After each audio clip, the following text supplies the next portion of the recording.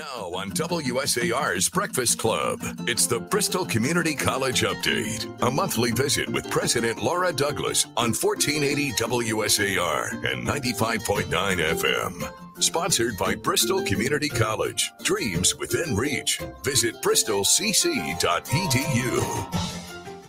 826 here on WSAR. It is the Breakfast Club, and joining us on our hotline is Bristol Community College Director of Adult Education, Nancy. Is it Labonte, Nancy? Yeah, Nancy Labonte. Good Hey, morning. Good How are morning. you today? I'm fine, thanks. How are you doing? Good. I hope you had a nice weekend. We certainly had perfect weather for it, huh? Yeah, finally, at long last. Yep. Pete's got a nose full of pollen, but other than that, we're good here. no, it's, it's yeah, bad. yeah. I hit the beach. Yeah, yeah. I was at the beach a little bit. That's lovely. Oh, that's good. Uh, you are here join us, joining us this morning to tell us a little bit about the uh, adult education program and how students can get involved. So, if you could do just that, Nancy, we'd appreciate it. Yeah, great. So I'll just summarize. Um, we have a couple of um, programs at the adult education um, at Bristol.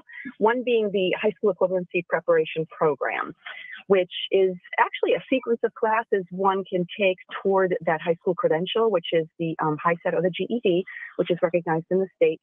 Um, for you know again the high school equivalency and folks can kind of start when where they're at in terms of um, maybe the, you know beginning intermediate or advanced but uh, on average, folks are spending less than a year and um, completing the program and moving on.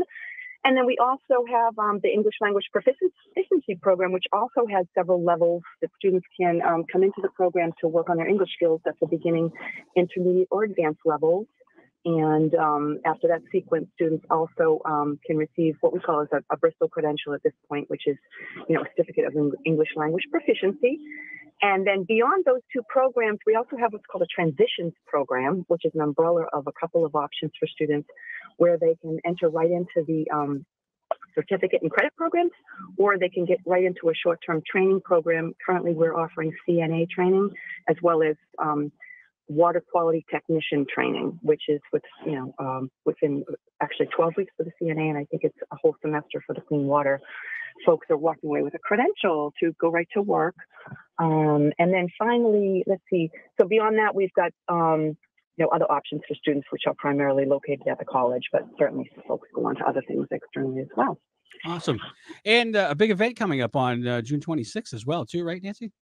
Yeah, it's our annual. Um, we call it the high school equivalency HSE graduation ceremony, which is honoring the completers uh, within the fiscal year. So we've got um, about 80, up to 80 2024 grads for this year, which are folks that have studied either in person or online, or some folks actually are walking right in off the street and going to the testing center after having um, studied independently and taking that test. So we invite them all.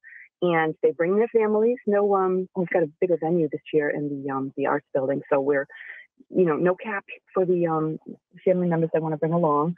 And it's just a wonderful community event where um, you know the community can learn more about the program as well and everyone receives their certificate. The president will be speaking, as well as um, we've got the mayor of Fall River joining us this year. Oh, good. All right.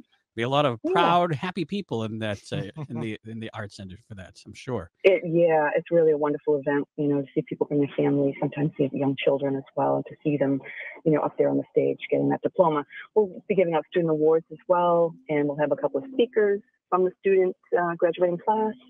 So it really is just a wonderful event. Great. Uplifting. Awesome. Yeah.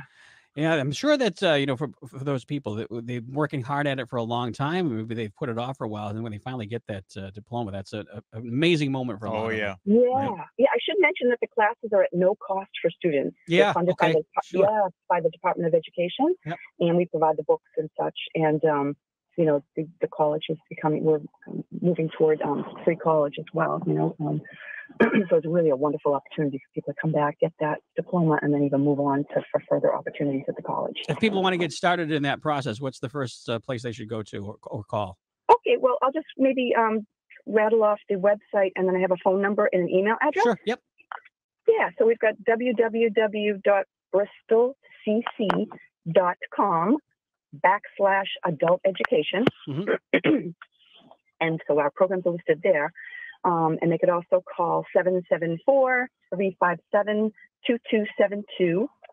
And then finally, an email if they want to reach out that way. It's um, adult education at bristolcc.edu. Got it. Thank you so much, Nancy. We appreciate you taking the time to come on the show today. Absolutely. Thanks for having me. Thank you. You got it. We'll talk again soon, I hope. Okay, yeah. Thank you, Nancy. Bye now. Take care. Have a wonderful week. Yep, you as bye, well. Thanks. That is uh, Nancy Labonte from Bristol Community College's Director of Adult Education, and it's certainly going to be a great event uh, coming up. Great graduation ceremony on June Mhm. 26th.